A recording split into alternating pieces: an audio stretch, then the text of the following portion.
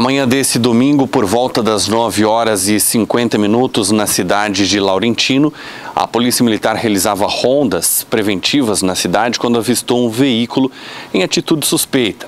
O veículo Ford Fiesta foi então abordado em busca veicular, foi encontrado no interior do próprio veículo aproximadamente 17,7 gramas de cocaína e 18 gramas de crack.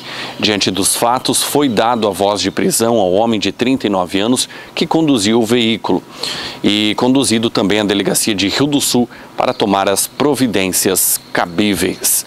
Geandro, para a RWTV, o Alto Vale passa aqui.